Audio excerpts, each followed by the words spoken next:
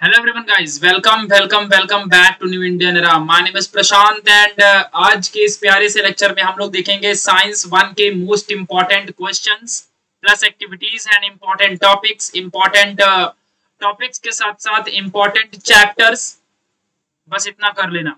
बहुत फ़ायदे में रहोगे। ठीक है? तो आप सभी लोग फटाफट गाइस जल्दी से आ जाओ लेक्चर के अंदर एंड देन फिर हम लोग स्टार्ट करते हैं आज के इस प्यारे से सेशन को। ओके okay, गाइस सो चलो, फटाफट जल्दी से सारे बच्चे आ जाओ। Then after that will start again ठीक है? एक बार सब लोग रिफ्रेश कर लिया करो यार। आपको पता है, जब टाइम हो जाता है ना लेक्चर का तो हम लोग टाइम पे लेक्चर चालू कर देते हैं। बट तुम लोग जो वेटिंग करते हो ना, उस वेटिंग के टाइम पे अपने आप लेक्चर चालू नहीं होता। जैसे टाइम होता है ना तो एक बार रिफ्रेश कर लिया करो। रिफ्रेश करने से फ़ायदा ये होता है कि लेक्चर चालू हो जाता है। लाइव लेक्चर में ऐसा थोड़ा सा रहता है। देख लिया करो। ठीक है? बाकी कोई इशू की बात नहीं है। तो यार, चलो फिर अपन स्टार्ट करते हैं। ठीक है, आज के इस प्यारे से लेक्चर को। और जिसमें हम लोग डिटेल तरीके से बहुत कुछ सीखने वाले हैं आज के इस लेक्चर में। ठीक है गाइस तो चलिए फिर शुरुआत करते हैं।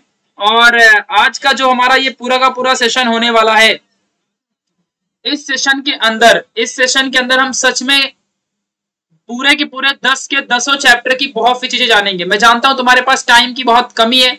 तो जितना मैं क्वेश्चन बताऊँगा, उन क्वेश्चन को अच्छे से करते जाना, उन सारे टॉपिक्स को अच्छे से करते जाना। मैं देख रहा हूँ, अभी भी बच्चे बहुत सारे बीटीएस यूटीएस कर रहे हैं। भाई, एक बात कहता हूँ, ना रोटी बीटीएस वाले देंगे और ना ही रोटी कोई कोरियन का ड्रामा इस बात को ध्यान देना अच्छे से। भाई, पढ़ ले मेरी बात और मान ले मेरी बात, नहीं तो भजना पड़ेगा रामा रामा रामा। समझ रहा है? तो ना बीटीएस साथ देगा और ना ही कोई कोरियन ड्रामा पढ़ ले बेटा और मान मेरी बात, नहीं तो बाद में मंदिर में बैठ के भजना पड़ेगा रामा रामा रामा। समझ गया? ये बात को समझ लेना। तो ये दुनियादारी करना छोड़ दो और पढ़ाई में ध्यान दो। तो कल पेपर है और इधर पता नहीं क्या दुनियादारी बता रहे हो। तो चुपचाप ध्यान दो अच्छे से पढ़ाई में और चलो अभी स्टार्ट करते हैं आगे के टॉपिक को। ठीक है? सो लेट्स गो गाइस कल से लगा हुआ तुम लोग के लिए। ठीक है? चलो शुरुआत करते हैं फिर आज के इस प्यारे से टॉपिक को। तो गाइस सबसे पहले मैं आप लोग को बताऊँगा मोस्ट इंपॉर्टेंट चैप्टर्स इस वीडियो के अंदर आपको बहुत कुछ मिलने वाला है। तो सबसे पहले बताऊँगा मोस्ट इंपॉर्टेंट चैप्टर गाइस देखो यार, अगर मैं वेटेज की बात करूँ तो एक बात का बस इतना ध्यान रखना कि अगर मैं वेटेज की बात करता हूँ तो देखो यार, क्या होता है ना, चीज़ों को थोड़ा सा समझ के चलोगे तो बहुत आगे जाओगे। अगर वेटेज की बात करता हूँ तो हमेशा कहते तो हैं कि वेटेज के अकॉर्डिंग ही क्वेश्चंस आते हैं। बट तुमने ज्योमेट्री में देख लिया, तुमने फिजिक्स में देख लिया, तुमने फिजिक्स का पेपर तो अभी होने वाला है, मैं ट्वेल्थ की बात पे आ गया था। ज्योमेट्री का पेपर देख लिया तुमने अल्जेब्रा का पेपर देखा, और उसके पहले भी तुमने पेपर देखे इंग्लिश का पेपर देखा। यार, कभी भी वेटेज को बंदे लोग फॉलो ही नहीं करते। कभी भी वेटेज को फॉलो नहीं करते। ठीक है? मतलब वो कह देंगे कि छह मार्क्स को, सात मार्क्स को है बट वेटेज को जल्दी कौन फॉलो करता है? ये चीज़ें होती हैं। तो यार टेंशन मत लो। तुम्हें मैं कुछ चैप्टर के नाम फिर भी बता दूँगा। और कोई कोई जो चैप्टर होते हैं ना यार, वो चैप्टर तुम्हें बहुत हार्ड जाते हैं। तो वो चैप्टर के कुछ इंपॉर्टेंट टॉपिक पढ़ लोगे तो फ़ायदे में रहोगे। ये भी चीज़ें आपके लिए ज़रूरी है। हमेशा से ये कहते आ रहा हूँ कि जो चैप्टर नहीं समझता, उसकी कुछ चीज़ें तो तुम्हें समझती होंगी। अब मान लो जैसे कोई इंसान है तो उसकी एक आँख समझ गई, दूसरी आँख नहीं समझी तो एक तो समझ रही है वही बहुत बड़ी बात है। क्या पता वही एग्ज़ाम में आ जाए। तो है ना, अच्छी बात? तो ये बात ध्यान दो। ऐसा नहीं कि कोई चैप्टर नहीं समझ रहा तो उस पूरे चैप्टर को छोड़ दो। भाई, उसमें से जितना आता है ना, उतना कर लो, बाकी छोड़ दो। ये फ़ायदेमंद वाली बात होती है। तो इस तरीके से अगर आगे बढ़ते हो तो थोड़ा तुम्हारा फ़ायदा होगा और डेफिनेटली तुम्हारा फ़ायदा होगा। तो यार, चलो, कुछ चैप्टर इंपॉर्टेंट वाले मैं उनके नाम बता देता हूँ, जो आसान है। तो सबसे पहला है chapter number six refraction of light जिस चैप्टर को कभी मत छोड़ो, उसे फटाफट इसी वक्त रिवाइज कर लो। फिर उसके बाद है तुम्हारा चैप्टर नंबर सेवन लेंसेस इसे मत छोड़ना। चैप्टर नंबर टेन की अगर बात करें तो ये सबसे इंपॉर्टेंट है। भले तीन मार्क्स का वेटेज है, लेकिन वो तीन मार्क्स फिक्स है क्योंकि बहुत आसान चैप्टर है। और उसके बाद अगर कोई आसान चैप्टर है तो वो तीसरा है, क्योंकि इसमें सिर्फ़ डेफिनेशन है तो केमिकल रिएक्शन एंड इक्वेशन ये चैप्टर सच में कहता हूँ यार, बहुत ही आसान चैप्टर है। ठीक है, तीसरा चैप्टर उसके बाद हमारा आसान चैप्टर में हीट है। हीट में सिर्फ़ थियोरी पार्ट कर लो, उतना काफ़ी है न्यूमेरिकल पे मत जाओ न्यूमेरिकल जल्दी हीट बीट के नहीं आते हैं। सिंपल से न्यूमेरिकल तो करो ही मत, मैं तो यही कहता हूँ, क्योंकि ऑप्शन में रहेगा तो छोड़ देना, उसको कोई बहुत बड़ी बात नहीं है। उसके, ये पाँच चैप्टर सबसे इंपॉर्टेंट चैप्टर गाइस इनको अच्छे से ढंग से कर लो। और उसके बाद तो पहला और दूसरा चैप्टर भी इंपॉर्टेंट है तो अगर तुम चाहो तो इन्हें भी कर सकते हो, कोई बड़ी बात नहीं है। ये चैप्टर भी आपके लिए उतना ही ज़्यादा इंपॉर्टेंस रखते हैं, ठीक है? तो इनमें भी आप लोग थोड़ा फोकस कर सकते हो। तो पहला और दूसरा चैप्टर भी ज़्यादा ज़रूरी है, बाकी सब ठीक है। तो ये ये चैप्टर ऐसा इसलिए कह रहा हूँ, क्योंकि ये है आसान चैप्टर एक टॉपर इंसान जो होता है, वो सारे चैप्टर पढ़ता है, क्योंकि उसको 90 परसेंट लेके आना होता है, क्योंकि उसे ज़िंदगी में आगे बढ़ना होता है। लेकिन जो टॉपर नहीं है, जो नॉर्मल बंदा है, वो बंदा अगर पहला और दूसरा चैप्टर और ये, या फिर ये जो पाँच चैप्टर मैंने बताए, अगर तुम इन्हें भी कर लेते हो तो तुम बहुत ही अच्छी कंडीशन में रहोगे, बहुत अच्छे बढ़ोगे ठीक है? चलिए तो इंपॉर्टेंट चैप्टर की बातें हो गई। अब बात करते हैं कुछ most important most important questions की। अब देखो यार, जब और डायग्राम भी दूँगा मोस्ट इंपॉर्टेंट क्वेश्चन कह लो या टॉपिक कह लो। ठीक है? देखो यार, जब बात करते हैं मोस्ट इंपॉर्टेंट क्वेश्चन की तो सवाल एक ही मन में आता है कि क्या वो सारे इंपॉर्टेंट क्वेश्चन एग्ज़ाम में आएँगे? ऐसा इसलिए, क्योंकि देखो यार इस बार का जो सिलेबस है, वो एक्टिविटी बेस्ड है। और कौन सी एक्टिविटी कौन सा कॉन्सेप्ट किधर से आएगा, कोई नहीं जानता है। हमारा काम है तुम्हें प्रिपेयर करवा के देना।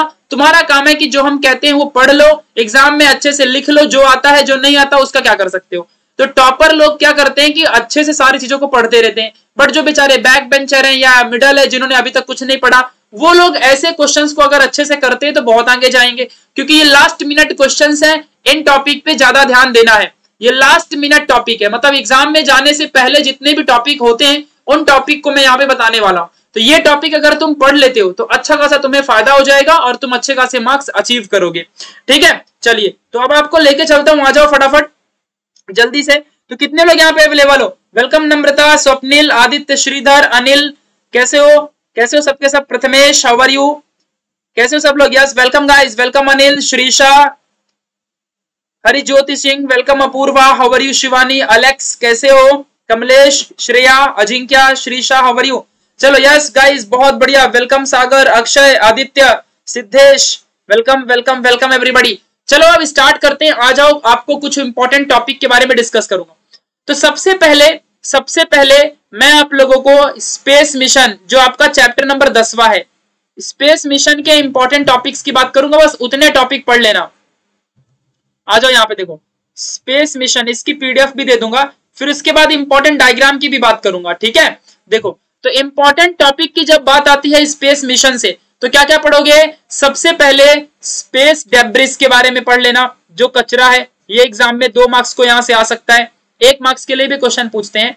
फिर उसके बाद है टाइप्स ऑफ़ सैटेलाइट जो कि मुझे लगता है कि ये तुम्हारे प्रिलियम में भी और बहुत इंपॉर्टेंट क्वेश्चन है फॉर थ्री मार्क्स ठीक है? यहाँ से फिर वो अपना देखो तीन है, लियो, फिर उसके बाद है मियो और एचईओ, ऑर्बिट होते ना, ये एग्ज़ाम में थ्री मार्क्स को यहाँ से, और तीसरा है हमारा, जो हमारा फुल फॉर्म होता है। नहीं क्या full form of vehicle vehicle यानी कौन से? अपने पीएसएलवी या फिर जीएसएलवी और वेहीकल के बाद अपना जो रॉकेट होता है, अपना जो रॉकेट होते हैं, ठीक है, या सैटेलाइट की बात कर लो तो जो सैटेलाइट है, उनके फुल फॉर्म जो होते हैं ना फुल फॉर्म वो पढ़ के जाना अच्छे से।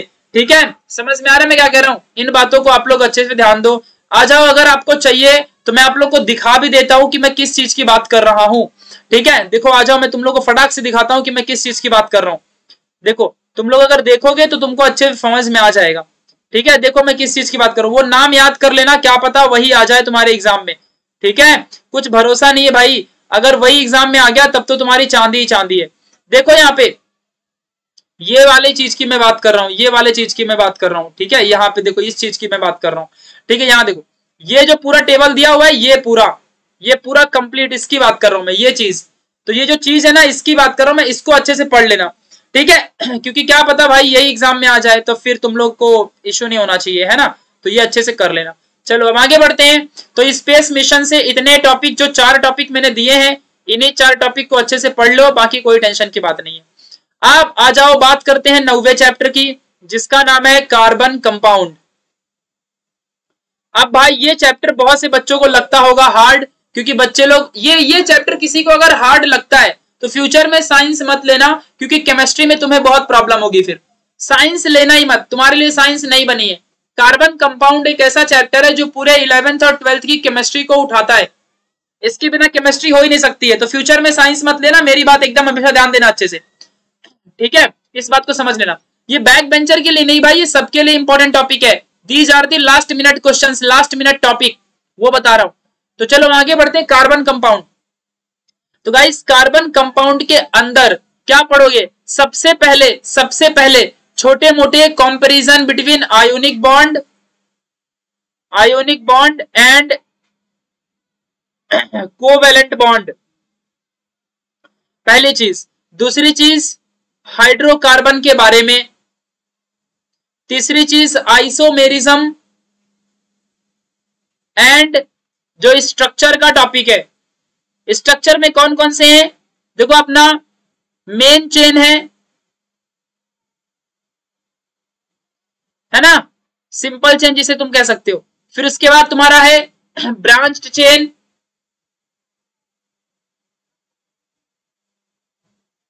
फिर ब्रांच चेन के बाद साइक्लिक चेन है कि तीन टॉपिक का आंसर यही बता दिया मैंने। उसके बाद आयुपैक नेम मेरा एक सजेशन है कि आयुपैक नेम सिर्फ़ एक्सरसाइज से कर लो, ज़्यादा फ़ायदे में रहोगे। ठीक है? मैं तो कहता हूँ कि इस चैप्टर का ज़्यादातर पार्ट ना एक्सरसाइज से करो। और मैं आपको लास्ट मिनट में सजेशन बिल्कुल नहीं दूँगा कि आप रिएक्शन को करने जाओ। भाई रिएक्शन मत करो क्योंकि तुम्हारा सिर्फ़ लॉस होने वाला है। रिएक्शन एग्ज़ाम में आता भी नहीं है और अगर आया भी तो सिर्फ़ ना कंबसन रिएक्शन पढ़ लेना। अगर चैप्टर में रिएक्शन आया भी तो सिर्फ़ कंबसन रिएक्शन पढ़ के जाओ। पहला रिएक्शन ही है, क्या पता यही वाला आ जाए। रिएक्शन में अगर आ भी सकता है रिएक्शन बट ऐसा है ना कि क्या पता ये वाला एग्ज़ाम में आए ही ना। या अगर आ गया तो वही वाला आ जाए। तो इसलिए ना यही वाला कर लो अच्छे से, जो कि बहुत ज़्यादा इंपॉर्टेंट है। ठीक है? चलो, इस बात को समझ के रखना अच्छे से। चलो, अब आगे की बात करते हैं तो ये बातें हमारी हो गई रिएक्शन की। नाउ लेट्स बिगिन अब हम बात करेंगे, नौवा चैप्टर हो गया गाइस मैंने आपको बोल दिया कि exercise is really very important for the carbon compound chapter now आगे की बात करते हैं, आठवें की। आठवें की बात करते हैं मेटलर्जी आप देखो भाई मेटलर्जी दुनिया का सबसे डेंजरस चैप्टर बच्चों को लगता है। इस चैप्टर पे तुम्हें कुछ नहीं समझता है। कम से कम तीन टॉपिक तो तुम्हें पक्का समझेगा। पहला टॉपिक है प्रॉपर्टीज़ तीन टॉपिक दुनिया का सबसे आसान टॉपिक है। प्रॉपर्टीज़ ऑफ़ मेटल ये तुम्हें आता भी होगा कि ये मेलेबल है डक्टाइल है है ना? ये सब कुछ। तो ये तो तुम्हें पक्का आता होगा। और दूसरा है हमारा properties of metal non metal के बाद। लीचिंग, और एक एग्ज़ाम में आ चुका है roasting. Roasting method, roasting and calcination. एक बच्चा कह रहे थे भैया आप हमेशा रोस्टिंग करते हो, कैल्सिनेशन भी कभी कभी किया करो। ठीक है, ये एग्ज़ाम में 2019 के पेपर में दो मार्क्स के लिए आ चुका है ये क्वेश्चन। रिपीट होता है बहुत। और लास्ट के टॉपिक है जो, नहीं क्या, प्रिवेंशन ऑफ़ कोरोजन के टॉपिक। प्रिवेंशन ऑफ़ कोरोजन ये तो कर सकते हो। ये टॉपिक तो कर सकते हो। ठीक है, ये टॉपिक तो कर सकते हो। ये चार टॉपिक तो कम से कम करके जा सकते हो ना। इतना कर लो। और इस चैप्टर से कुछ डायग्राम है। वो डायग्राम बना के जाना। डायग्राम सीख लो। डायग्राम कौन सा हार्ड होता है यार? डायग्राम करके जाओ। कोई बड़ी बात नहीं। रिएक्टिविटी सीरीज़ करना है तो कर लेना, नहीं करना रहेगा, मत करना। ठीक है? तो ये मेटलर्जी की डायग्राम्स डायग्राम्स में भी बता दो कौन सी डायग्राम सबसे ज़्यादा फोकस करना फ्रोथ फ्लोटेशन मेथड पे, सबसे ज़्यादा फोकस फ्रोथ फ्लोटेशन मेथड पे, उसके बाद मैग्नेटिक सेपरेशन मेथड पे, उसके बाद मैग्नेटिक सेपरेशन के बाद मैग्नेटिक सेपरेशन मेथड के बाद हाइड्रोलिक सेपरेशन मेथड पे, ये तीन ज़्यादा इंपॉर्टेंट है। ठीक है? ये तीन ज़्यादा इंपॉर्टेंट है, बाकी तुम्हारी मर्ज़ी, तुमको जिधर देखना रहेगा देखो। क्लियर हो गई बातें? चलो, ये इजी चैप्टर है। मैंने इतना अच्छे से इसको सिखाया है ना, बहुत आसान है बट फिर भी तुम्हारी मर्ज़ी, जो करना है कर लो। देख लो अच्छे से। अब बात करते हैं सेवेंथ चैप्टर लेंसेस की। लेंसेस की बात करते हैं। भाई लेंसेस के अंदर ना, सच्ची कहता हूँ, कुछ गिने चुने क्वेश्चन है। ज़्यादा क्वेश्चन इस पे नहीं है। ज़्यादा क्वेश्चन इस पे बिल्कुल भी नहीं है। देखो, एक क्वेश्चन आ सकता है व्हाट इज़ मैग्निफिकेशन जो टीचर का फेवरेट क्वेश्चन है। मैग्निफिकेशन। और दूसरा है हमारा कौन सा? एक क्वेश्चन और आ सकता है। दूसरा क्वेश्चन है हमारा power of power of lens ये दो क्वेश्चन बन सकते हैं। एक है मैग्निफिकेशन और एक पावर ऑफ़ लेंस कल के लेक्चर में पूरा मैग्निफिकेशन और पावर ऑफ़ लेंस अच्छे से तुमको समझा के दिया है मैंने। ठीक है? उसके बाद अपन बात करते हैं पावर ऑफ़ लेंस और मैग्निफिकेशन के बाद। यहाँ पे जरा सब बच्चे लोग ध्यान दो अच्छे से। सारी चीज़ें आप लोग के लिए, बहुत ज़्यादा ज़रूरी है। Now listen carefully what is magnification और पावर ऑफ़ लेंस इस टॉपिक के बाद. जो कुछ इंपॉर्टेंट है तो जानते हो क्या है? Laws of formation of image image formation आपको मालूम है ना? इमेज फॉर्मेशन किसका? कॉन्वेक्स लेंस का. है ना? वो इमेज कैसे फॉर्म करते हैं? वो चीज़. एग्ज़ाम में ये थ्री मार्क्स को आने के चांसेस हैं भाई. बहुत इंपॉर्टेंट है. तीसरा है हमारा डिफेक्ट डिफेक्ट्स ऑफ़ आई इसमें कोई भी तीन, है ना? अब देखो मायोपिया भी पूछ सकता है। पूछता कैसे है क्वेश्चन में? कि मायोपिया एक बीमारी है। इसको दूर करने के लिए कौन सा लेंस यूज़ करोगे? क्यों होती है ये बीमारी? है ना? यही सब पूछेगा। फिर एक है हाइपरमेट्रोपिया तीनों का नाम भी बता देता हूँ यहीं पे, जिससे तुमको याद रहे। और दूसरा है प्रेस बायोपिया ये सबके नाम भी है। यहीं पे आंसर भी बता दिया। डिफेक्ट ऑफ़ आई तीन डिफेक्ट है, तीनों में से कोई भी आ सकता है। लास्ट है हमारा माइक्रोस्कोप माइक्रोस्कोप और एक है persistence of vision persistence of vision तो माइक्रोस्कोप में तो दो टाइप है, ये भी चलो बता देता हूँ तुम्हें। एक है सिंपल और एक है कंपाउंड अब सिंपल कंपाउंड में से कोई भी टॉपिक अगर एग्ज़ाम में आता है तो आप लोग इस टॉपिक को अच्छे से करना बढ़िया। और धमाकेदार तरीके से इसको लिख के आना। क्लियर हो गई बातें? तो इन चीज़ों को अच्छे से कर लेना। चलो, बहुत बढ़िया। Yes, Mujawar, Reem, Atharva, study buddy, how are you, कैसे हो सृष्टि निषाद? लाइक कर दो गाइस अगर आप लोग वीडियो में आए हो, अगर आपको अच्छा लगता है तो लाइक कर दो। बहुत मज़ा आ जाएगा, तुम लोग को सीखने मिलेगा। लाइक कर दो वीडियो को फटाक से। तो ये चीज़ें आपको लेंसेज चैप्टर के अंदर इतनी ही चीज़ें करके जानी है। इनके अलावा कुछ करने की ज़रूरत नहीं है। अधिक से अधिक अगर कोई कृपा करना रहेगा तो लेंस का फॉर्मूला याद कर लेना। अब आप बोलोगे, भैया लेंस का फॉर्मूला क्या वो यही लिख देता हूँ, क्योंकि बाद में तुम लोग ढूंढोगे, नहीं ढूंढोगे, वो बात की बात है। तो यहीं पे लिख दिया, ये लेंस का फॉर्मूला कर लो। ठीक है? चलो, अब आगे बढ़ते हैं। अभी राहुल पूछ रहा है कि, भैया साइंटिफिक रीजन बता दो। अरे भाई गिव साइंटिफिक रीजन ज़रूरी नहीं कि तुम लोग ना टेक्स्ट बुक में जैसा वैसा ही लिखोगे। खुद के मन से भी लिख सकते हो। साइंस में एग्ज़ाम में मार्क्स मिलता है। बस करेक्ट लिख के आना। और कीवर्ड बराबर यूज़ करना। पता नहीं खुद के कीवर्ड ठोक दो तो फिर मार्क्स नहीं मिलेगा। कीवर्ड लिख के आना अच्छे से। खुद के कीवर्ड्स लिख के आना अच्छे से। ठीक है? समझ रहे हो मैं क्या कह रहा हूँ? चलो आगे बढ़ना। अब एक सबसे छोटा सा इंपॉर्टेंट क्वेश्चन है जिसे दे देता हूँ। ह्यूमन आई का structure human eye human eye का स्ट्रक्चर गाइज़ ये पिछले साल आया नहीं था बट इस साल भी आ सकता है। अब क्या बोले? पिछले साल आया नहीं था लेकिन ना हाँ, तो अब तुम लोग कभी भी गलती मत करना। डायग्राम कभी भी पेन से मत बनाना। पेंसिल से ही डायग्राम बनाना है। पेन से कभी भी डायग्राम नहीं बनाना है। ठीक है? पेंसिल से डायग्राम बना के आना। अगर तुम्हारे टीचर कहते हैं कि पेन से बनाओ तो बना देना, कोई गलत बात नहीं है। बट ज़्यादातर अच्छी डायग्राम पेंसिल से बनती है तो पेंसिल से ही बनाना। ठीक है? चलो। अब एक बच्चा बोलेगा कि भैया, हमें फाइव मार्क्स के क्वेश्चन बता दो। अब मैं आपको एक बात बताऊँ। फाइव मार्क्स क्वेश्चन क्या आएँगे? देखो जरा, एक बात आपको मैं बताता हूँ, जरा ध्यान से सुनना। भाई फाइव मार्क्स के क्वेश्चन कहीं भी ऐसे बने नहीं होते मेरी बातों को सुन लो ध्यान से एग्ज़ाम में तुमको पक्का फ़ायदा होगा। जब एग्ज़ाम में बैठोगे ना, तुम्हें मेरी याद पक्का आएगी, देख लेना। सुनो ध्यान से मैं क्या कहता हूँ। फाइव मार्क्स के जो क्वेश्चन होते हैं, ये question one plus one plus two plus one इस तरीके से भी आ सकते हैं। समझ रहा है? मतलब कि कोई एक मार्क्स का क्वेश्चन फिर एक मार्क्स का क्वेश्चन कोई दो मार्क्स का क्वेश्चन कोई एक मार्क्स का क्वेश्चन इस तरीके से मिला के पाँच मार्क्स बन जाएँगे। Are you getting my point or not मतलब कि जितने भी छोटे छोटे ऑब्जेक्टिव क्वेश्चन हैं, जितने भी छोटे छोटे वन सेंटेंस क्वेश्चन हैं, ठीक है? और जितने भी छोटे छोटे वन सेंटेंस ऑब्जेक्टिव क्वेश्चंस जितने भी छोटी छोटी डायग्रामेटिक क्वेश्चंस हैं ये सारे क्वेश्चंस को पकड़ के, वो एक साथ ऐसे क्वेश्चन पूछ के और पाँच मार्क्स के क्वेश्चन बना देता है। इसीलिए कोई भी टीचर अगर तुम्हें पाँच मार्क्स का क्वेश्चन दे रहा है, समझ जाओ भैया, वहाँ से कुछ नहीं आने वाला है, क्योंकि पाँच मार्क्स के क्वेश्चन भी छोटे छोटे क्वेश्चन को मिला के ही बनने वाला है। Are you getting my point or not तो छोटे छोटे क्वेश्चन को मिला के पाँच मार्क्स का क्वेश्चन बनेगा।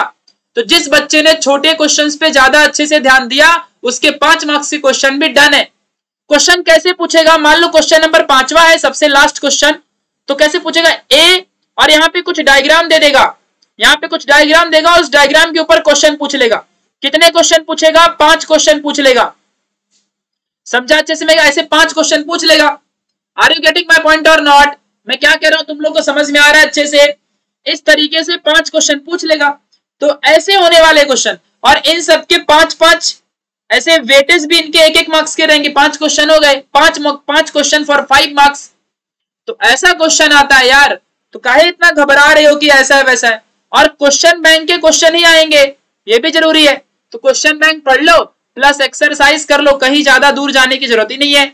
अगर जो बच्चा थोड़ा सा भी कॉमन सेंस रहेगा, इतना कर लो कि आराम से हो जाएगा। तो बस यही तो चीज़ें हैं। चलिए, अब आगे बढ़ते हैं। आ जाओ, हमने लेंसेज चैप्टर तक देख लिया। अब आगे बढ़ते हैं। छठवा चैप्टर है refraction of light refraction of light तो रिफ्रैक्शन ऑफ़ लाइट के अंदर सबसे पहले, सबसे पहला टॉपिक है three laws of refraction of light है ना? नहीं क्या जो तीनों लॉ दिया हुआ है, अब उसको जो भी बोलते रहोगे देखो ऐसा रेयर से डेंसर में जाएगा तो ऐसा हो जाएगा, है ना? रूल यही लिख भी देता हूँ, सीधा आएगा तो सीधा जाएगा डेंसर से रेयर तो थोड़ा ऐसा हो जाएगा, है ना? यही तीनों रूल लिख भी दिया, बाजू में देख लेना। फिर twinkling of star twinkling of star और ट्विंकलिंग ऑफ़ स्टार के बाद प्लानेट डू नॉट ट्विंकल तो ये भी एक क्वेश्चन है। फिर दूसरा क्वेश्चन है रेनबो फॉर्मेशन तो रेनबो फॉर्मेशन में तीनों लॉ अप्लाई होते हैं। रिफ्रैक्शन ऑफ़ लाइट फिर इसके बाद है हमारा डिस्पर्सन ऑफ़ लाइट और टोटल इंटरनल रिफ्लेक्शन तो रेनबो फॉर्मेशन कर लेना। और अभी जो तीनों लॉ बताया डिस्पर्सन ऑफ़ लाइट ये कर लेना। बाकी कुछ मत करना इस चैप्टर से। इतना काफ़ी है। और अगर ज़्यादा तुमको बहुत ये होगा, नहीं, मेरे को करके जाना है, ऐसा है, वैसा है तो I is equal to R ये प्रूफ करो, है ना? तुम्हारे एक्सरसाइज में दिया है तो I is equal to R इसका प्रूफ इसका प्रूफ कर लेना अच्छे से। क्लियर हो गई बातें? ओके यहाँ तक सब बच्चों क्लियर है? चलो। ठीक है? सृष्टि पूछ रही है कि की पॉइंट मतलब सेंटेंस में जो इंपॉर्टेंट वर्ड्स है, वो राइट करना है। बिल्कुल। अब मान लो, मैं आपको एक एग्जांपल देता हूँ छठवा चैप्टर के बाद। देखो how to write answer how to write answer देखो, मैं आपको बताता हूँ। जैसे कि अगर मैंने एक इंपॉर्टेंट कुछ पॉइंट लिखता हूँ फॉर एग्ज़ाम्पल के लिए फॉर एग्ज़ाम्पल के लिए मैं एक चीज़ लिखता हूँ कि, मान लो इलेक्ट्रिक मोटर की डेफिनेशन लिखता हूँ। इलेक्ट्रिक मोटर की मान लो डेफिनेशन लिखने जा रहा हूँ।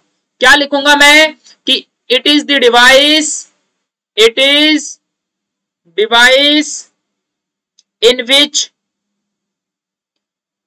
electrical energy electrical energy is getting converted into आगे बोलो mechanical energy.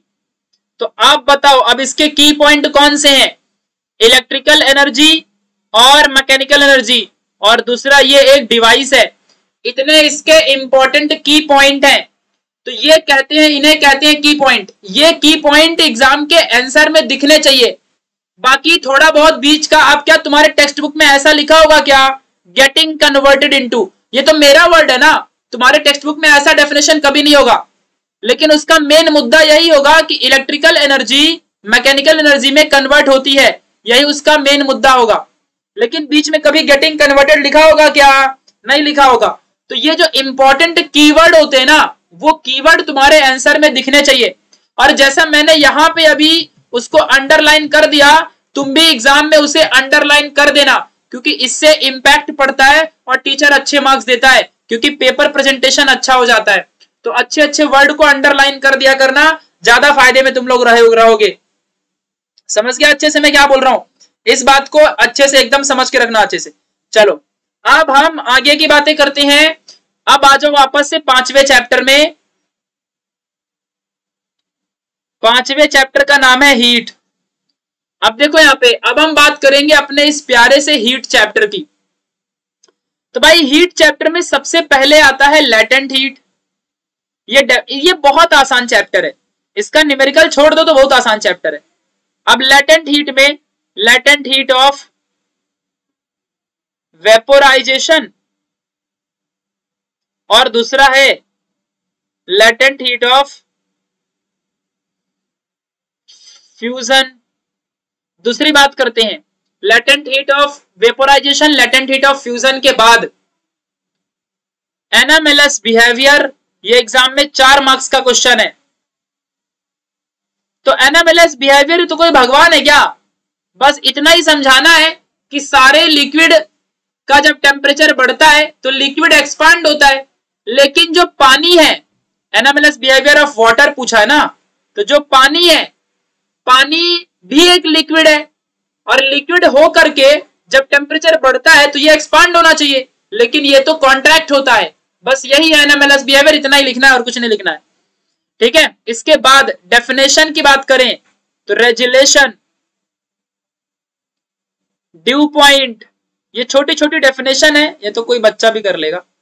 Specific heat specific heat specific heat के बाद एक सबसे इंपॉर्टेंट क्वेश्चन हीट एक्सचेंज 2019 के पेपर में ये एग्ज़ाम में आ चुका है।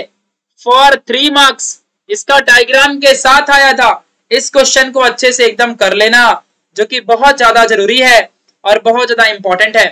भाई अंडरलाइन पेन से ही करना। अंडरलाइन पेंसिल से भी कर सकते हो, कोई टेंशन की बात नहीं है। अब बात करते हैं चौथे chapter effect of electric current की। गाइज़ अगर आप सब चैनल में नए हो तो सब्सक्राइब कर देना और लाइक ठोक देना, क्योंकि अगले साल पूरे ग्यारहवीं और पूरे बारहवीं का जो कंटेंट है साइंस का, हमारे YouTube channel new Indian era के अंदर टोटली फ्री ऑफ़ कॉस्ट मिलेगा। चाहे वो फिजिक्स हो केमिस्ट्री हो मैथमेटिक्स हो बायोलॉजी हो डिटेल्ड वेल क्वालिफाइड टीचर के साथ आपको सारी चीज़ें मिलने वाली हैं। तो आप लोग बढ़िया चाहो तो लाइक कर दो सब्सक्राइब कर दो। अगर अच्छा लगता है तो नहीं अच्छा लगता है मत करना, कोई टेंशन की बात नहीं। इफ़ेक्ट ऑफ़ इलेक्ट्रिक करंट की चलो अब हम बात करते हैं। तो इस चैप्टर से, इस चैप्टर से बहुत ज़्यादा इंपॉर्टेंट चीज़ें जो है, वो जानते हो क्या है? वो ये है, यहाँ पे ध्यान दो। सबसे पहला electric motor plus electric generator electric motor plus electric generator इन दोनों का वर्किंग इन दोनों का कंस्ट्रक्शन देखो यार कभी कभी क्या होता है कि हम उल्लू बन जाते हैं। इतना बड़ा क्वेश्चन करते तो है बट आता ही नहीं है। ठीक है तो ऐसा मत समझना कि ये आएगा ही बट बहुत इंपॉर्टेंट है। जब मैंने 2015 में बोर्ड का पेपर दिया था तो मेरे टाइम पे ये आया था। 2015 के बोर्ड एग्ज़ाम में। अब तुम्हारे टाइम पे आएगा कि नहीं आएगा, वो मैं नहीं जानता। ठीक है? Guys I got 91 percent in tenth standard तो इसलिए मैं मेरी जो स्ट्रेटजी तुम्हें बताता हूँ ना, वो स्ट्रेटजी तुम्हारे लिए बहुत फ़ायदेमंद है। I got 91 percent in tenth so तुम्हें जो बताता हूँ मैं, वो तुम्हारे लिए बहुत ज़रूरी है। तुम इसका फ़ायदा उठा सकते हो। चलो, अब आगे बात करते हैं। यहाँ जरा देखो अच्छे से। भाई, ये प्रणव धीरज कौन है यार? मस्ती विस्ती मत करो रे बाबा। काय को खाली फोकट ब्लॉक हो जाओगे फिर। चलो, आगे बात करते हैं अभी। तो इफ़ेक्ट ऑफ़ इलेक्ट्रिक करंट की बात करते हैं। ना यहाँ ध्यान दो सब लोग। अब इसके आगे रूल की बात करते हैं। रूल तो रूल में सबसे पहले फ्लेमिंग का राइट हैंड और फ्लेमिंग का लेफ़्ट हैंड देखो यार एग्ज़ाम में क्वेश्चन ऐसा पूछता है कि फ्लेमिंग का राइट हैंड क्यों यूज़ करते हैं? तो लिख देना कि to know the force to know the direction of force direction of direction of force और लेफ़्ट हैंड क्यों यूज़ करते हैं? लेफ़्ट हैंड क्यों यूज़ करते हैं? अपना हाथ जगन्नाथ। अरे तो लेफ़्ट हैंड बेसिकली यूज़ किया जाता है for the to know the जगह ही नहीं बची यार। टू नो दी रुको मैं थोड़ा अपने आप को उठा लेता हूँ और उठा के यहाँ रख देता हूँ। To know the direction of to know the direction of induced current induced current के डायरेक्शन को जानने के लिए। किसको जानने के लिए? इंड्यूस्ड करंट के डायरेक्शन को जानने के लिए। इसलिए हम लोग इसका इस्तेमाल करते हैं। एक और रूल है हमारा लेफ़्ट ये सारे रूल है दो दो मार्क्स के क्वेश्चन है ये। लेफ़्ट हैंड नहीं तो सिर्फ़ इतना लिखो right hand thumb rule left hand तुम्हारे में दिया ही नहीं सिलेबस में। Right hand thumb rule thumb rule right hand thumb rule बस इतना याद कर लो। ठीक है? चलो। अब यहाँ पे जरा आपको समझ के रखना अच्छे से। क्या हो गया भाई?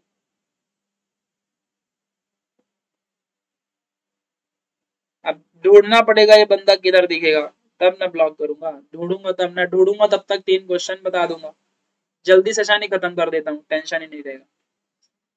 अरे भाई लोग काहे के लिए बीटीएस के पीछे पड़े कोई कह रहा है बीटीएस छपरी है, कोई कह रहा है बीटीएस मेरा बाबू है बीटीएस मेरा सोना है। अरे इतना सोना चांदी है तो सूटकेस में रख लो और बेच लो। क्या पता साइंस से अधिक महत्वपूर्ण होगा। तुम्हें सोना, चांदी, पैसा करोड़पति बना देगा।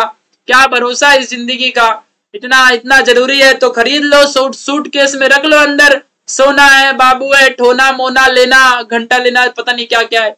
तो ले लो भाई, जाओ पहले। नहीं साइंस का पेपर साइड में और पहले बीटीएस को ले लो तुम लोग।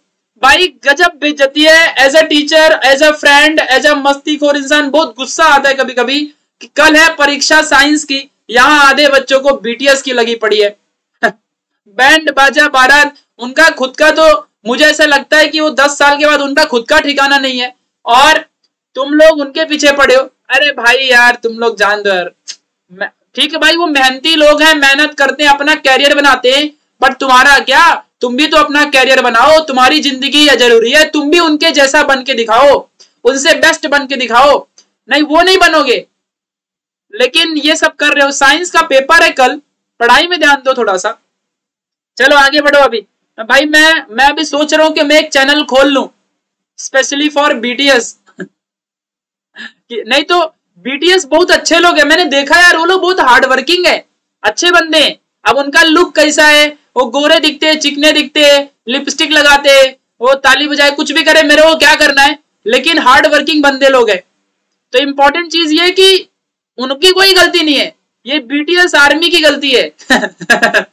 ये जो अपना कैरियर दांव में लगा के, अपनी ज़िंदगी बर्बाद करके दूसरे को फॉलो करने में लगे भाई, इधर हम लोग इनका कैरियर बनाने के लिए इधर टीचिंग कर रहे हैं फ्री में।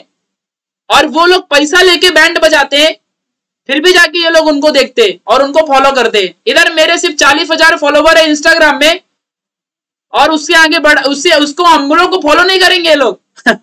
अभी मेरा इंस्टाग्राम आईडी बताऊँगा ना, कि जाके फॉलो मारो। Prashant underscore T nine description box में लिंक है। कोई नहीं जाएगा फॉलो करने। लेकिन वो लोग पैसा भी लेते हैं बैंड बजाते हैं पैसा कमाते हैं फिर भी ये लोग उनको फॉलो करते। एक तो एक तो नेपाली जैसे यहाँ के, छोड़ो यार, जान दो अभी राइट हैंड रूल की बात कर लो। चलो आगे की पढ़ाई करते यार।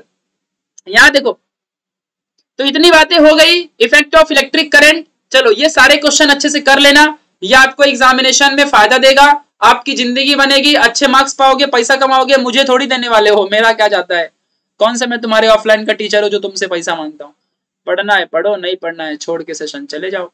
ठीक है? बट मेरा फ़र्ज़ यही है कि मैं तो तुम्हें बताते रहूँगा, मैं तुम्हें समझाते रहूँगा। यूट्यूब खुला प्लेटफॉर्म है, सब कर सकते हैं। तो जिसको पढ़ना है, पढ़ो, नहीं पढ़ना है, मत पढ़ो, मेरा क्या जाता है? ठीक है, चलो, अब यहाँ देखो। चौथा चैप्टर हो गया, अब पांचवा, तीसरे चैप्टर की बात करते हैं। और सबसे बड़ी बात जानते हो क्या है? बीटीएस लोग को ना सिर्फ़ गर्ल्स लोग ही ज़्यादा पसंद करते हैं। कोई बॉयज़ उन्हें पसंद नहीं करता। केमिकल रिएक्शन एंड इक्वेशन मतलब देखो, ये पसंद, नापसंद तो हमारी है। बीटीएस वाले ने बहुत मेहनत किया ज़िंदगी में आगे बढ़ने के लिए, बहुत अच्छी बात है। लेकिन पसंद, नापसंद भाई हमारी है। हमें पसंद है, नहीं पसंद है, वो तो हमारी चॉइस है ना। ठीक है? तो गर्ल्स लोग को ज़्यादा पसंद है और बॉयज़ को नहीं। और अपने भारत देश में गर्ल्स वर्सेस बॉयज़ का बॉयज़ का जो रोस्टिंग का चीज़ है ना, ये बहुत होता है। और भाई, ये बहुत होता है। भले बाद में बॉयज़ दिन में लड़ेगा और बाद में जाके चुपके से व्हाट्सएप में मैसेज के लिए तरसेगा कि काश एक मैसेज कर दे।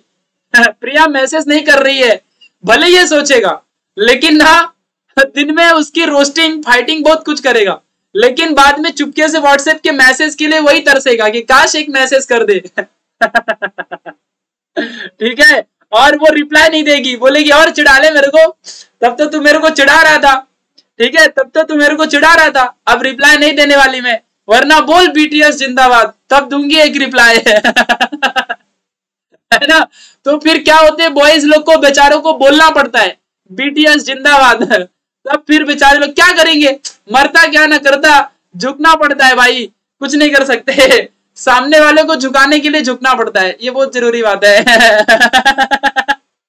समझ रहे हो? तो केमिकल रिएक्शन एंड इक्वेशन की बात करते हैं।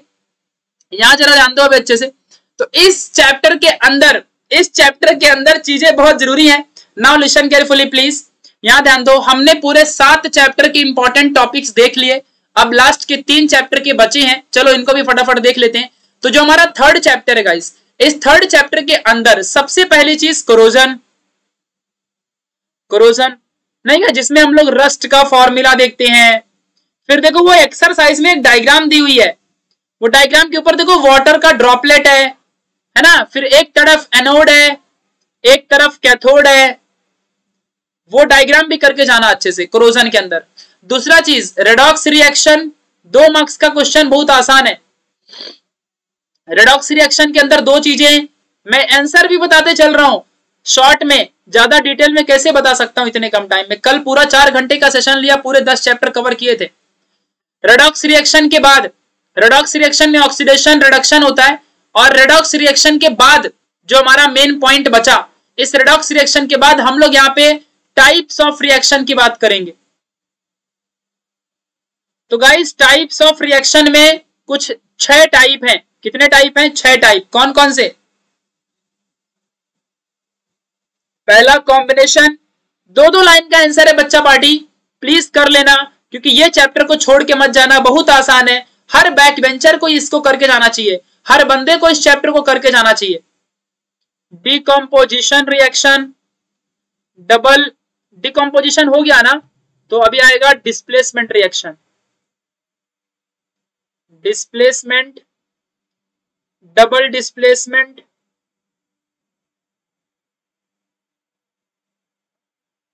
ठीक है? उसके बाद डबल डिस्प्लेसमेंट के बाद एक्सोथर्मिक ये हीट के बेसिस पे है। और एक है, यही लिख देता हूँ एंडोथर्मिक तो बस इतना ही तो करना है, और ज़्यादा और तुमको अगर चाहिए तो भाई यहाँ पे लिख देता हूँ factors affecting the factors affecting the rate of reaction ज़्यादा एक्स्ट्रा बता रहा हूँ जिसको करना रहे, करना मत करना. एक्स्ट्रा बता रहा हूँ steps to write the chemical reaction steps to write chemical reaction ठीक है? इस तरीके से यहाँ पे क्वेश्चन ध्यान देना अच्छे से। चलो अब आगे की बात करते गाइस जो कि बहुत ज़्यादा इंपॉर्टेंट है। ठीक है? चलो। हर्ष कहता है बीटीएस नेपाली है, सर, अपना चंपा चमेली है। क्या बोलते रहते हो यार? चलो, यहाँ ध्यान दो। कुछ भी बोलता है बंदा ये। चंपा चमेली अरे कुछ भी रहे, कुछ भी मत बोलो यार, बेचारे लोग अच्छे लोग हैं। मुझे पहले नहीं पता था बट जब मैंने सर्च किया इनके बारे में, जब मैंने सर्च किया इनके बारे में ना तो मुझे समझ में आया कि ये लोग ना बहुत हार्ड वर्क किए यार ज़िंदगी में, जहाँ तक भी आए। बट यार, तुम लोग अपना कैरियर बर्बाद करके उनको, उनके, उनको सोच रहे हो तो कैसे काम चलेगा? अपने फ्यूचर का ध्यान दो, इतना फॉलो मत करो टाइम बर्बाद है वो लोग। तुम्हारा टाइम बर्बाद करे खुद का कैरियर बना रहे हो लोग, ऐसा है। चलो, जब तुम लोग बहुत बड़े अमीर बन जाओगे, तब फॉलो करो। जब तुम बहुत बड़े अमीर बन जाओगे ना तो तुम उनको सूंघोगे भी नहीं, क्योंकि तुम्हें खुद पसंद नहीं आएँगे, क्योंकि तुम करियर में ध्यान दोगे। अब बात करते हैं दूसरे चैप्टर की। पीरियोडिक क्लासिफिकेशन की बात करते हैं। जिसको डाउट रहेगा, पूछो दूसरे चैप्टर की periodic classification of element guys कल इस चैप्टर को मैंने एनिमेशन के थ्रू आप लोग को सिखाया था। गाइस जो ये हमारा चैप्टर है ना, ये चैप्टर का से क्वेश्चन जो आएँगे कॉन्सेप्चुअल बेस पे आएँगे। तो मेरा एक सजेशन है। पहला सजेशन ये है कि इस चैप्टर के एक्सरसाइज के क्वेश्चन सारे कर लो। अगर टाइम मिले अभी तो। टाइम अगर है तुम्हारे पास या तुमको आता है तो रिवाइज कर लो। और दूसरा क्वेश्चन बैंक से या तो 21 से किसी एक में से जितने क्वेश्चन बनते हैं बना लेना। और कुछ फिक्स क्वेश्चन है, जैसे कि मैंडलिव मैंडलिव की मेरिट्स एंड डीमेरिट्स पहली चीज़। दूसरी चीज़ structure of MPT modern product table हा, और ट्रेंड्स ऑफ़ एमपीटी ठीक है? दूसरी बात करते हैं, एक इंपॉर्टेंट चीज़ मेटालिक करेक्टर एमसी और नॉन एमसी ठीक है? तो metallic character non metallic character और एक है रेडियस और एक है इलेक्ट्रो पॉजिटिविटी और इलेक्ट्रो निगेटिविटी का टॉपिक तो इसके ऊपर टॉपिक में क्वेश्चन आ सकता है। ठीक है? ये सब ध्यान देना अच्छे से। तो बस चार क्वेश्चन है और बाकी मेरा सजेशन यही रहेगा क्योंकि कॉन्सेप्चुअल क्वेश्चन आते हैं यहाँ से। तो इसलिए एक्सरसाइज और क्वेश्चन बैंक पे ज़्यादा ध्यान देना, क्योंकि वो आपके लिए ज़्यादा ज़रूरी है, ज़्यादा इंपॉर्टेंट है। क्लियर और हमारा सबसे लास्ट में आता है पहला चैप्टर ग्रेविटेशन क्योंकि मैंने पीछे से स्टार्ट किया था। आगे तक आ गया। तो ग्रेविटेशन चैप्टर है। इस चैप्टर के अंदर सबसे इंपॉर्टेंट पहली चीज़ है कैप्लर्स लॉ जो कि आपको हर एक टीचर बताएगा कि यह इंपॉर्टेंट टॉपिक है फॉर थ्री मार्क्स दूसरी चीज़ कैप्लर्स लॉ के बाद हमारा आता है फ्री फॉल जो कि हर टीचर बोलेगा फॉर टू मार्क्स उसके बाद ग्रेविटेशनल ग्रेविटेशनल फोर्स इसके ऊपर क्वेश्चन डायरेक्ट नहीं आते. इसके ऊपर क्वेश्चन एमसीक्यूज और फॉर्मूला बेस पे इसके ऊपर क्वेश्चन बनते हैं. एमसीक्यूज और कैसे बनते हैं? फॉर्मूला बेस पे क्वेश्चन मैंने नहीं कहा, आज मॉर्निंग में जब मैंने न्यूमेरिकल का सेशन लिया था, मैंने तुमको डिटेल में सिखाया है किस तरीके से तुम लोग फॉर्मूलाज का इस्तेमाल करके क्वेश्चन को सॉल्व कर सकते हो. तो ग्रेविटेशनल फोर्स के ऊपर क्वेश्चन फिर variation in ji variation in g और why the value of g is zero at centre value of g is zero at value of g is zero at centre ये ये question है और इसी तरीके से एक छोटा सा क्वेश्चन और है। ज़ीरो एट द सेंटर के बाद g is equal to G M by R square का ये फॉर्मूला प्रूफ कर देना। बस, इतने क्वेश्चन कर लेना। मतलब केपलर लॉ के ऊपर फ्री फॉल के ऊपर ग्रेविटेशनल फोर्स का जो फॉर्मूला है, क्या है ग्रेविटेशनल फोर्स का formula G M one M two upon D का स्क्वायर इसके ऊपर फॉर्मूला और जो इसमें ये जी की वैल्यू है 6.67 point six seven into ten raise to minus eleven newton metre square per K G square इसके ऊपर जो टॉपिक है, ये टॉपिक भी अच्छे से कर लेना। ठीक है? तो सारी चीज़ों को अच्छे से ध्यान रखना। इनके ऊपर टॉपिक में क्वेश्चन आ सकता है गाइस वेरिएशन इन जी में चाहे हाइट हो या डेप्थ हो या फिर उसके बाद तुम्हारा चाहे सरफेस हो, ये सब सुबह मैंने कल भी सिखाया था अच्छे से। इनको अच्छे से करके जाना, जो कि आप लोगों के लिए बहुत ज़्यादा ज़रूरी है गाइस ठीक है? तो ये सारी चीज़ों को आप लोग समझ लेना। इतना अगर आप लोग कर लेते हो तो समझ जाओ कि आपके टॉपिक बहुत अच्छे से हो जाएँगे। और रियली मैं कह रहा हूँ, आप लोग बहुत अच्छे मार्क्स अचीव करोगे। सिर्फ़ इतनों से टॉपिक दिया हूँ, जो भी मैंने दिया है ना, बहुत कम कम टॉपिक दिए हैं। हर एक चैप्टर से छोटे छोटे टॉपिक दिया है। मेरा एक प्लानिंग ये रहेगा। जो मेरा प्लानिंग है प्लानिंग ये है कि देखो, जो चैप्टर तुम्हें हार्ड लगता है तो हार्ड चैप्टर के इंपॉर्टेंट टॉपिक कर लो। हार्ड चैप्टर जो भी तुम्हें लगता है हार्ड चैप्टर के इंपॉर्टेंट टॉपिक कर लो। समझा? जो भी मैंने आज दिए ना, जो चैप्टर तुम्हें हार्ड लगता है, उसके इंपॉर्टेंट टॉपिक कर लो। इस बात को हमेशा एकदम समझ के रखना। क्लियर हो गई बातें? आप सभी लोगों को सारी बातें क्लियर है? किसी बच्चे को कोई भी डाउट है क्या? नो no डाउट बहुत बढ़िया। फोकस करना अच्छे से और बहुत आगे बढ़ना। सीरियसली तुम लोग बहुत अच्छा अचीव करोगे मार्क्स एंड डेफिनेटली तुम्हें अच्छे मार्क्स मिलेंगे। ठीक है? चलो। ओके ओके सो गाइज़ आप सब चाहो तो मुझे फॉलो कर सकते हो ऑन दिस इंस्टाग्राम आईडी आप जाके मेरे को कोई फॉलो नहीं करेंगे। सब जाके उन लोग को फॉलो करेंगे, जो इधर उधर डांस करते, तीन चार कपड़ा पहन लेंगे, ऐसा ऐसा डांस करेंगे, और पता नहीं क्या क्या करते हैं, उनको सब फॉलो मारेंगे। मेरे को कोई फॉलो नहीं मारेगा। ठीक है? ठीक है, मुझे भी फॉलो मार लो यार। ठीक है तो भाई इंस्टाग्राम में फॉलो कर लो, और अपने चैनल को सब्सक्राइब कर लो। अभी रुक जाओ इंपॉर्टेंट डायग्राम भी देता हूँ। ठीक है, रुको। अभी कोई जाओ मत। अभी इंपॉर्टेंट डायग्राम भी देता हूँ तुम लोग को, ठीक है? सबर करो। सबर का फल मीठा होता है। तो इंपॉर्टेंट अभी अभी इंपॉर्टेंट डायग्राम भी देता हूँ, ठीक है? रुक जाओ। तो और न्यू इंडियन एरा मेरे यूट्यूब चैनल का नाम है न्यू इंडियन एरा ठीक है? इसको सब्सक्राइब कर लो, क्योंकि इसके अंदर ग्यारहवीं का कंटेंट बारहवीं का कंटेंट टोटल फ्री में है। Total content free of cost डाला है। Physics chemistry maths bio JEE NEET सब डाला है। तो बढ़िया सब फ्री में पढ़ सकते हो। कहीं ऑफलाइन ट्यूशन लगाने की कोई ज़रूरत नहीं है। बढ़िया फ्री में पढ़ो। पूरी बैचेस भी नई नई आने वाली हैं। दसवीं के बाद जैसे तुम ग्यारहवीं में जाओगे ना, सारी की सारी बैचेस फ्री में आने वाली है। तो मस्त अच्छे से साइंस हम लोग मज़े के साथ पढ़ाने वाले हैं। यार मज़ा हो जाएगा तुम लोग को। चलो और? हाँ पीडीएफ में दे दूँगा। टेंशन मत लो, इसकी पीडीएफ तुम्हें मिल जाएगी। पीडीएफ में टेलीग्राम में दूँगा। टेलीग्राम की लिंक डिस्क्रिप्शन में दिया हुआ है। टेलीग्राम की लिंक डिस्क्रिप्शन में जाओ, फटाक से चेक कर लो। ज्वाइन कर लो, वहीं अभी तुमको लेक्चर के बाद मिल जाएगा। आयु पैक नेम कार्बन कंपाउंड में बता दिया ना। चलो, आ जाओ। तो इस चीज़ को ध्यान रखना अच्छे से। अब आगे बढ़े। अब चलिए, आ जाओ। इंपॉर्टेंट डायग्राम की बातें करते हैं। वैसे इंपॉर्टेंट डायग्राम जैसी कोई चीज़ तो है नहीं बट फिर भी बात करते हैं। तो पहले चैप्टर में तो कोई भी नहीं है। दूसरे चैप्टर में भी कोई भी नहीं है।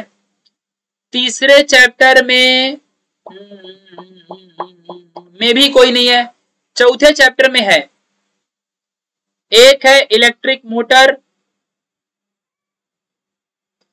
एक है इलेक्ट्रिक जनरेटर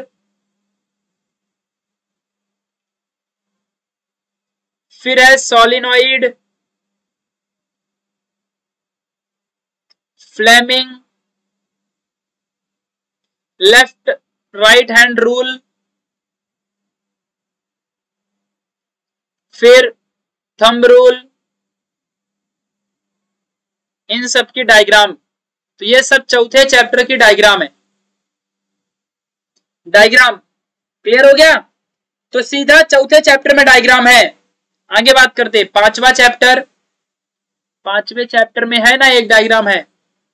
हीट एक्सचेंज बस वही करके जाओ, बाकी मत करो। छठवे चैप्टर में टोटल इंटरनल रिफ्लेक्शन फिर देखो प्रिज्म वाला, जिसे अपन डिस्पर्सन ऑफ़ लाइट कहते हैं, वो डायग्राम फिर देखो, जो लॉज है लॉज ऑफ़ रिफ्रैक्शन उसे ध्यान देना। बस इतना कर लो। बाकी तो कुछ भी नहीं। तो ये छठवें चैप्टर का डायग्राम हो गया। सातवें चैप्टर में नहीं क्या defect in I defect in आय उसमें मायोपिया का डायग्राम मायोपिया में हम लोग सॉल्यूशन है कॉनकेव हाइपरमेट्रोपिया का सॉल्यूशन नहीं क्या अगर किसी को मान लो हाइपरमेट्रोपिया हो गया। हाइपरमेट्रोपिया मतलब पास का दिखाई नहीं देता है। तो ये ये वाला लेंस यूज़ करने का। और प्रेस बायोपिया में प्रेस बायोपिया में दोनों लेंस यूज़ करते हैं अपन लोग। दोनों लेंस फिर इसके बाद ह्यूमन आई ह्यूमन आई फिर इसके बाद माइक्रोस्कोप तो माइक्रोस्कोप का डायग्राम तो ये सब कुछ आपको करके जाना है अच्छे से। ठीक है, ये सातवें चैप्टर का डायग्राम हो गया। अब बात करते हैं आठवें चैप्टर का। मैंने पहले भी बता दिया है कि आठवें चैप्टर की डायग्राम फ्लोथ फ्लोटेशन मेथड फिर एक magnetic separation method diagram are most important diagram कैसे आता है जरा सुनो, बताता हूँ। मैं भी रुको बता दू, फिर बताता हूँ कि कैसे आएगा। तो मैग्नेटिक सेपरेशन मेथड मेरे को पूरा आपका टेक्स्ट बुक याद है। आपको पता है ये बात? आपको ना, आप बता दोगे ना कि आप मेरे से पूछोगे ना कि आपके टेक्स्ट बुक का कौन सा टॉपिक किस साइड लिखा हुआ है, वो तक आपको बता दूँगा मैं। आपके टेक्स्ट बुक में किधर क्या लिखा हुआ है, सब मेरे को याद है। देखो, किधर भी टेक्स्ट बुक खुला है क्या? कुछ नहीं। सीधा दिमाग में साइंस वन साइंस टू पूरा दिमाग में याद है। ऐसा इधर पूरा दिमाग में याद है, कोई टेंशन की बात नहीं। कोई भी टॉपिक किधर से पूछो, सब बता दूँगा कौन सा किधर लिखा है।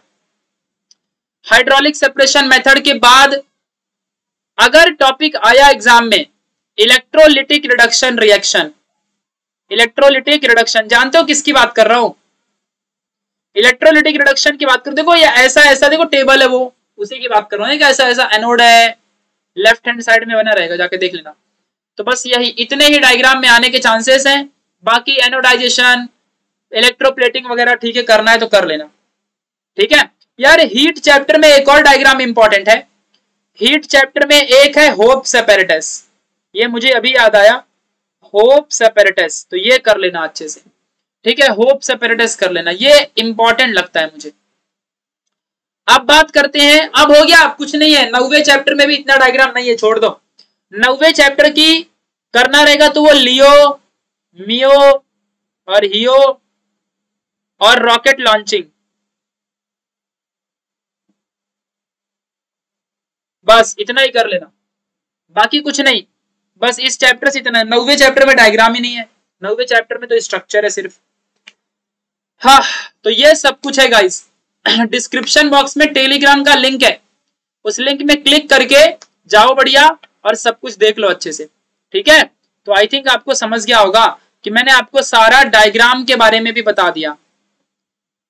इंपॉर्टेंट डायग्राम भी बता दी मैंने. ठीक है? इस बात को ध्यान रखना अच्छे से. चलो. अब आगे की बात करते हैं.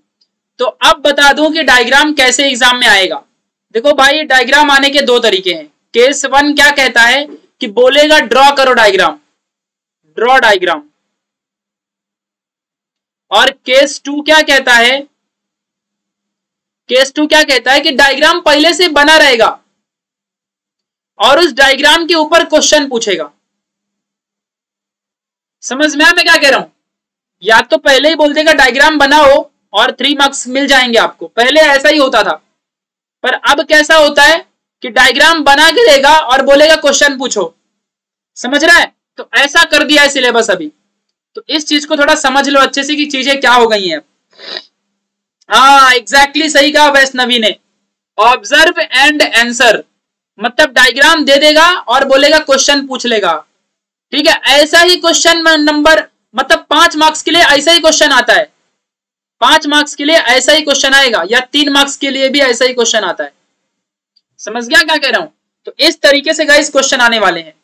तो ऐसे क्वेश्चन आपको मिलेंगे एग्ज़ाम में। इस बात को आप सबको अच्छे से समझ के रखना है। क्लियरिटी मिल गई। किसी बच्चे को कोई डाउट यहाँ तक? किसी को कोई डाउट मेरे से कुछ और पूछना है? वेलकम वैष्णवी ठाकर। बहुत बढ़िया। चलो तो गाइज़ मैंने आज तुम्हें फिर से एक बार रिव्यू कर देता हूँ। क्या क्या बताया मैंने? मैंने साइंस वन के मोस्ट इंपॉर्टेंट क्वेश्चंस एक्टिविटीज़ बस इतना पढ़ लोगे कसम से कहता हूँ बहुत फ़ायदे में रहोगे। मैंने सबसे पहले इंपॉर्टेंट चैप्टर बताया कि कौन से चैप्टर तुम्हें अच्छे से पढ़ने हैं। ठीक है? इंपॉर्टेंट चैप्टर के बाद मैंने तुम्हें बताया पहले द, पीछे से स्टार्ट किया। दसवें चैप्टर के पहले इंपॉर्टेंट टॉपिक्स फिर उसके बाद कार्बन कंपाउंड के इंपॉर्टेंट टॉपिक्स फिर उसके बाद मेटलर्जी के इंपॉर्टेंट क्वेश्चन एंड टॉपिक्स फिर लेंसेस के इंपॉर्टेंट क्वेश्चन एंड टॉपिक्स फिर फाइव मार्क्स के क्वेश्चन कैसे पूछे जाते हैं वो बता दिया, फिर रिफ्रैक्शन ऑफ़ लाइट के इंपॉर्टेंट क्वेश्चन एंड टॉपिक्स फिर उसके बाद हाउ टू राइट आंसर्स कैसे आंसर लिखना होता है बीच में थोड़ा सा वो बता दिया, कैसे अंडरलाइन करोगे, फिर पाँच मार्क्स के क्वेश्चन पाँचवें चैप्टर से क्वेश्चन इंपॉर्टेंट वाले, फिर चौथे चैप्टर से इफ़ेक्ट ऑफ़ इलेक्ट्रिक करंट से इंपॉर्टेंट फिर तीसरे चैप्टर से इंपॉर्टेंट फिर दूसरे चैप्टर से इंपॉर्टेंट फिर पहले चैप्टर से इंपॉर्टेंट और फिर मैंने बताया कि इंपॉर्टेंट डायग्राम कौन कौन सी हैं। तो इंपॉर्टेंट डायग्राम के बारे में मैंने तुम्हें बता दिया। तो यहाँ पे ये पहले, दूसरे, तीसरे पे तो इंपॉर्टेंट डायग्राम है ही नहीं। चौथे चैप्टर का इंपॉर्टेंट पांचवे का, छठवे का, सातवें का, आठवें का, बस, और नौवे चैप्टर का। तो ये इंपॉर्टेंट डायग्राम मैंने बता दिया। समझ गया अच्छे से? चलो। तो आई थिंक आपको सारी क्लियरिटी मिल गई होगी गाइस सब कुछ मैंने आपको बता दिया अच्छे से। किसी को कोई डाउट नहीं होगा। सब कुछ एकदम अच्छे सब कुछ बता दिया मैंने। ठीक है? चलो। अब यहाँ पे जरा ध्यान देना अच्छे से। अब ये चीज़ें आपको क्लियरिटी मिल गई होंगी। सब कुछ मैंने बोल दिया। चलो। तो गाइस ये सेशन में मैंने मेरा एक लक्ष्य था कि मैं तुम्हारी मदद करूँ, मैं तुम्हारी तुम्हारी हेल्प करूँ और तुम्हें अच्छे सब कुछ बताऊँ। जिससे कि तुम सबको लाइफ में अच्छा फ़ायदा हो और तुम अपने एग्ज़ाम में अच्छे खासे मार्क्स अचीव कर सको। ठीक है? आजकल मैं बहुत ज़्यादा वर्क कर रहा हूँ नाइट में डे में बिकॉज़ मैं अभी एकदम पूरा अकेला बंदा बन चुका हूँ और चीज़ें एकदम फायर में चला रहा हूँ, थोड़ा सा देख रहा हूँ, कोशिशें कर रहा हूँ। ठीक है? और हार्ड वर्क कर रहा हूँ, तुम्हारे लिए कर रहा हूँ तो तुमको भी खुद के लिए करना चाहिए भाई। और ना, एक बात और कहता हूँ, ये जो तुम सेशन में आते हो, ये कभी बीटीएस के बारे में बोलोगे, कभी उसके बारे में बोलोगे, कभी उसके बारे में बोलोगे तुम्हारा पर्सनल चॉइस है, तुम किसको कैसा मानते हो? लेकिन यार, एक इंसान की रिस्पेक्ट करना ज़रूरी है। वो बीटीएस से पहले इंसान है, उसकी रिस्पेक्ट करो। और मज़ाक मस्ती ठीक है बट एक लिमिट तक उसके ज़्यादा क्रॉस मत करो। ठीक है? यार, चलता है। हंसो, खेलो, कूदो, नाचो, गाओ। बट थोड़ा सा लिमिट तक अच्छे से करो, अच्छी बात है। कोई बुरा बिरा नहीं मानता है। ठीक है? और जिसको जो फॉलो करना है, करो भाई। किसी को बीटीएस पसंद है तो तुमको क्या करना है? तुम भी कुछ ऐसा करो कि तुमको लोग पसंद करें। ऐसा बनो। या मान लो, किसी को रोस्ट करना है तो कर लो। मैं तो भाई रोस्ट करता हूँ, मैं कह रहा हूँ। लेकिन इतना ऐसा नहीं कहता कि किसी को बुरा लग जाए या फिर बीटीएस आर्मी बंदूक लेके आ जाए। तो ऐसा कुछ नहीं करने का, बिंदास रहने का। और मेरा काम तो है तुम्हारा लाइफ बनाना, तुम्हारा कैरियर बना रहा हूँ मैं। वही फ्री में। तो भी तो तुम लोग मेरे को फॉलो नहीं करते हो। थोड़ा सा जाओ फॉलो भी लो, मारो लाइक करो फॉलो करो गाइस क्या कर रहे हो? ठीक है? तो मेरे को किसी बीटीएस उटीएस से मतलब नहीं, मेरे को खुद से मतलब है। मेरे को खुद को अच्छा बनने का है। तो जाओ इंस्टाग्राम आईडी दे दिया फॉलो मारो और आगे बढ़ो। ठीक है? चलो। सो अब गाइस चलने का नंबर आ गया है। ठीक है? अभी तक मैं बैठ के लिख रहा था पेन में से। तो ऐसा ऐसा बैठा था। अभी, चलो ठीक है, अच्छे से बैठ गया हूँ। अब चलो गाइस ग्यारहवीं, बारहवीं में तुमको पूरा कंटेंट हमारे यूट्यूब चैनल के अंदर तुम लोग को मिलेगा। तो बढ़िया तरीके से तुम लोग को अच्छे से पढ़ लेना है। और आगे बढ़ना है। केमिस्ट्री हो फिजिक्स हो मैथ्स हो बायो सब सिलेबस तुम्हें इसी चैनल के अंदर मिलेगा। ठीक है? तो गाइज़ तुम सबके कमेंट में यहीं पे पढ़ रहा हूँ अभी अच्छे से। और किसी को कोई डाउट रहेगा तो पूछो। फिर उसके बाद हम लोग आगे बढ़ेंगे और सेशन को करेंगे बंद। अगर तुमको मेरे से कुछ और चीज़ें जाननी है या समझनी है तो मुझे बताओ। और, बस, अब कल हम, कल मॉर्निंग में आपको बताऊँगा पेपर प्रेजेंटेशन के बारे में सुबह सुबह सात आठ बजे मिलेंगे। बढ़िया लाइव सेशन में आना। कल सुबह सुबह पेपर प्रेजेंटेशन की बात करूँगा। किसकी बात करूँगा? पेपर प्रेजेंटेशन की। कैसे पेपर में लिखोगे साइंस का पेपर और मुझे 91 परसेंटेज मिले थे टेंथ में। तो मैंने कैसे पेपर लिखा था? किस तरीके से मैंने पेपर लिखा था? वो सारे आइडियाज़ वो सारे ट्रिक्स मैं तुम्हें बताऊँगा। कल मॉर्निंग में बताऊँगा। बढ़िया तरीके से पढ़ लोगे, बहुत आगे जाओगे अच्छा खासा, क्योंकि प्रेजेंटेशन बहुत मैटर करता है। ठीक है? इस बात को अच्छे से ध्यान देना। क्लियर हो गया बातें? चलो। और दूसरी बातें मैं आपको इंपॉर्टेंट बातें बता दूँ कि गाइस कल मॉर्निंग में मिलने वाले इतना ध्यान रखना। इसकी पीडीएफ आप लोगों को टेलीग्राम में दे दूँगा मैं। डिस्क्रिप्शन बॉक्स में लिंक है। क्लिक करो और आगे बढ़ो। ठीक है? चलिए। तो गाइस अब चलने का नंबर आ गया है। चलते हैं। ठीक है? कल मिलेंगे सुबह। और एनआई की आर्मी जिंदाबाद। कैरियर बनाएँगे, पढ़ेंगे और बहुत आगे बढ़ेंगे। जब तक तोड़ेंगे नहीं तब तक छोड़ेंगे नहीं। इतना ध्यान रखना। चलो so bye bye guys take care bye bye अगर आप सब चैनल में नए थे तो सब्सक्राइब कर दो लाइक कर दो वीडियो को और कमेंट करना। सारे अपने फ्रेंड्स में इस वीडियो को शेयर करना, जिससे कि तुम्हारे दोस्तों के साथ बेचारे दूसरों को भी फ़ायदा हो। एक इंसान दूसरे का फ़ायदा सोचता है, तभी वो आगे बढ़ता है। शेयरिंग इज़ केयरिंग ऐसे अंदर से जलन की भावना मत रखा करोगी, उसको नहीं बताऊँगी, उसको नहीं बताऊँगा, जिससे कि वो भी पढ़ लेगा। यार हेल्प करो। एक दिन में क्या ही पढ़ेगा, ऐसा रहता है। हेल्प करो एवरीवन बहुत आगे बढ़ो। चलो गाइस अब हम लोग ग्यारहवीं में, अभी साइंस टू भी पढ़ाऊँगा तुमको, फिर मिलेंगे ग्यारहवीं में। पूरे ग्यारहवीं का सिलेबस हम लोग करवा के देने वाले तुम लोग को फ्री में। तो बढ़िया, ग्यारहवीं का साइंस पूरा पढ़ा के दूँगा कॉमर्स भी पढ़वा के दूँगा।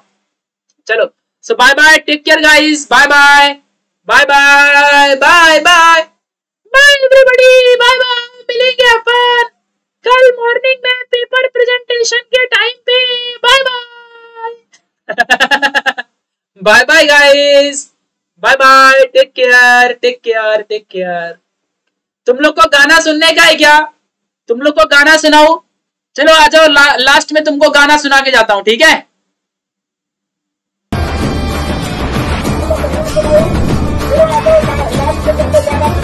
ठीक है